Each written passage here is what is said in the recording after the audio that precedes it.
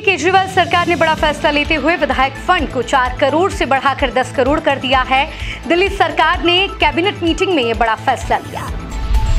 कांग्रेस के वरिष्ठ नेता और कर्नाटक के उप मुख्यमंत्री जी परमेश्वर ने अवैध रूप से रह रहे बांग्लादेशी नागरिकों को वापस उनके देश भेजने की वकालत की है। उन्होंने कहा कि हमने जाँच की है बेंगलुरु में कई सारे बांग्लादेशी रह रहे हैं। हम उन्हें वापस भेज रहे हैं। साथ ही उनका कहना है कि वैध दस्तावेजों के बिना कोई भी बेंगलुरु में नहीं रह सकता।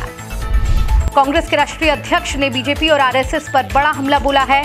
उन्होंने कहा कि बीजेपी और आरएसएस की मानसिकता है कि केवल पुरुष देश चलाएँ। मध्य प्रदेश में चक्रवाती हवाओं के साथ मानसून पर इसका असर देखने को मिल सकता है।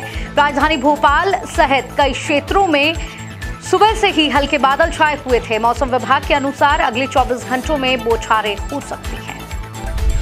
मध्य प्रदेश में शिक्षा का मंदिर शराबियों का अड्डा बन गया है। श्योपुर में शहर के बीचों बीच प्राथमिक केंद्र बना हुआ है, जहाँ पर 102 छात्र छात्राएँ पढ़ने के लिए आते हैं। लेकिन डरे और सहमे। उन्हें डर शिक्षकों का नहीं, शिक्षकों का नहीं, बल्कि उन शराबियों का होता है जो शराब के नशे में चूर होकर वहाँ पर आकर छात्राओं और शिक्षिकाओं के साथ छेड़छाड़ करते हैं। मध्य प्रदेश में डॉक्टरों की हड़ताल को लेकर बैठक आयोजित की गई, जिसमें निर्णय लिया गया है कि अगर डॉक्टरों को सातवां वेतनमान चाहिए तो उन्हें प्राइवेट प्रैक्टिस बंद करनी होगी। भाजपा के मंत्री लाल सिंह आर्य द्वारा एक महिला का घूंघट हटाने को लेकर अब सियासत गर्म हो गई है।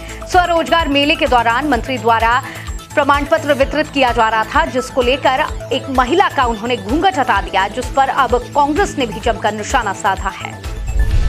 जिला पंचायत सदस्य के उपचुनाव में राव क्षेत्र से उम्मीदवार रहे जीतू ठाकुर को मिली बड़ी जीत के शिल्पकार बने हैं जीतू पटवारी। पटवारी इस पूरे चुनाव में किंग मैकर बनकर उभरे हैं। मध्य प्रदेश में नगरीय निकाय चुनाव में कांग्रेस ने भाजपा का सुपड़ा साफ़ करते हुए 14 में से 9 सीटों पर कब्जा जमाया है। वहीं विधानसभा चुनाव से पहले कांग्रेस के लिए बड़ी जीत मानी जा रही है। विधानसभा चुनाव से पहले इस जीत के बाद बीजेपी के माथे पर चिंता की लकीरें साफ़ देखी जा रही हैं।